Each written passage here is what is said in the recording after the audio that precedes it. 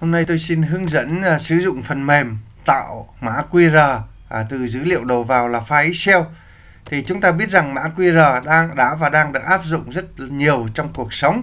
À, vì vậy nếu như mà chúng ta tạo với một số lượng rất ít một vài cái mã QR thì có rất nhiều cái phần mềm tiện ích để chúng ta tạo ra.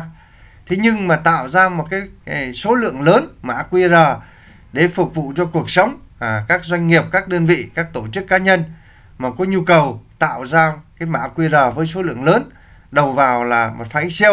Thí dụ hàng chục ngàn vài chục ngàn mã QR thì lúc đó chúng ta sẽ dùng phần mềm để tạo rất là nhanh. Trong giây lát chúng ta sẽ tạo xong được. Thì để uh, sử dụng được phần mềm à, chúng ta có chuẩn, chuẩn bị một cái file Excel à, để chúng ta đưa vào phần mềm. Phần mềm nó sẽ tự động tạo ra hàng loạt các mã QR à, cho chúng ta. Thì à, các tổ chức cá nhân à, doanh nghiệp có nhu cầu à, tạo ra hàng loạt với số lượng lớn mã QR thì liên hệ với à, thạc sĩ Lê Văn Quang à, theo số điện thoại là 0912 595654 hoặc 0943078123 sẽ được cài đặt cái phần mềm à, tạo mã QR từ xa à, dữ liệu đầu vào từ Excel sẽ cài qua TView và UltraView. À, thì à, quý khách có nhu cầu sử dụng phần mềm à, hãy liên lạc với à, thạc sĩ Lê Văn Quang theo một trong hai số trên màn hình à, dạ, với cái giá cả là sẽ là à, thỏa thuận. À, sau đây tôi sẽ minh họa cách sử dụng phần mềm. Như vậy đầu tiên là chúng ta chuẩn bị một cái file dữ liệu bằng file Excel. Thì cái file dữ liệu này thì à, chúng ta chú ý là cột A. Thì chúng ta ghi dữ liệu từ hàng 2 à, trở đi tại cột A. À, dòng 2 chúng ta ghi dữ liệu cần mã hóa ra à, mã QR à, còn cái dòng 1 chúng ta ghi đây là thông tin cần mã hóa ra QR sau đó chúng ta sẽ lưu cái file này save as time định dạng là Excel 972003 à, notebook thì chúng ta chú ý tại các dòng từ 2 trở đi không có dòng trống phải tạo một cách liên tục. Đấy, thì đây là khuôn dạng của cái file Excel. Sau khi chúng ta có dữ liệu là file Excel rồi à, chúng ta khởi động phần mềm. À, chúng ta khởi động phần mềm. À, đây là phần mềm. Thế sau à, khi khởi động phần mềm xong thì chúng ta thấy rằng là đây là phải có bản quyền có tác giả sẽ cấp cho cái số bản quyền này. Chúng ta nhập vào ba ô à, cái số bản quyền. Sau đó chúng ta vào phần mềm. À, đây là có hai mục tạo mã barcode và tạo mã QR. Chúng ta tạo mã QR chúng ta kích chuột vào cái mục tạo mã QR. Thì như vậy là à, dữ liệu đầu vào là file Excel. À, chúng ta lưu trữ tại ship 1 hay ship 2 thì chúng ta phải chọn tên ship. Sau đó chúng ta chọn file Excel chúng ta đẩy vào phần mềm đây chúng ta đẩy cái file Excel này vào phần mềm. Thì khi đó phần mềm nó sẽ xuất hiện một cái bảng bên này.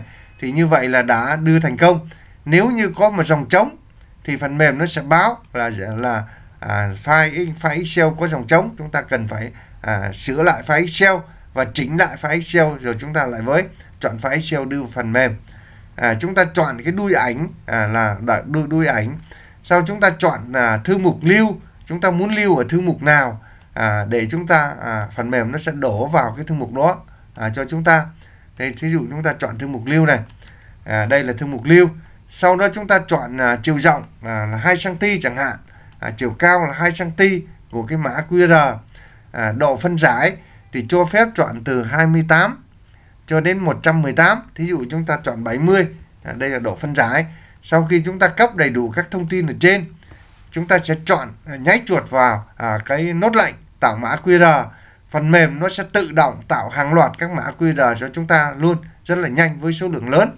Đấy chúng ta nháy chuột xong nó báo là đã tạo xong ảnh mã QR chúng ta ok.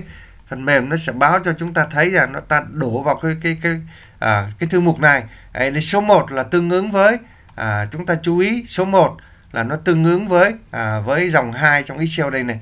À, số 2 à, số 3 số 4 à, số 5 số 6 thì cứ lần lượt như vậy là nó sẽ đánh số để chúng ta sử dụng. À, nó, nó nó chính xác. Đấy thì như vậy chúng ta không sử dụng phần mềm nữa chúng ta chọn nốt thoát. Đấy, như vậy phần mềm là rất dễ sử dụng chỉ bằng nháy chuột thôi. Thì như vậy là à, quý khách có nhu cầu mà sử dụng cái phần mềm tạo hàng loạt mã QR với dữ liệu đầu vào từ file Excel hãy liên hệ với tác giả lập trình thạc sĩ Lê Văn Quang theo một trong hai số trên màn hình 0912595654 hoặc 0943078123 sẽ cài đặt à, từ xa qua TView hoặc UltraView cho quý khách hàng với một cái giá cả là rất hợp lý vì chỉ chính là sản phẩm cho tác giả làm ra cho nên có thể thương thảo giá cả được. À, thì chúng tôi à, rất là muốn được cung cấp à, phần mềm này được sử dụng à, ứng dụng nhiều trong cuộc sống.